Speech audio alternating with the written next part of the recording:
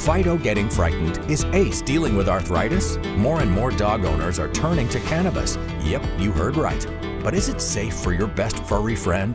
Tonight at 11 after an all new Blue Bloods on 10 News Nightside.